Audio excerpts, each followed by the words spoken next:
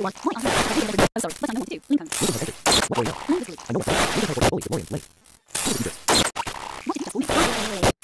I'll get Lori. That's it. Lincoln joins. What going on? Ow. Lori stopped being away. It's like Lori in 1998. Point on the project. Then it's Ooh, my legs. Still, Lincoln's having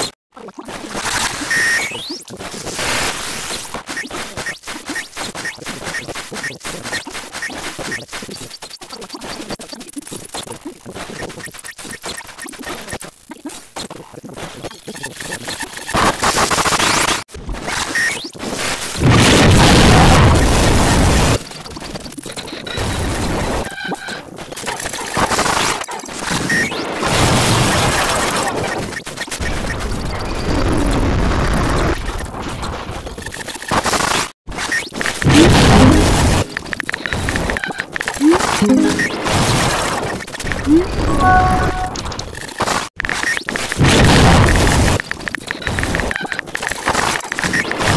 What?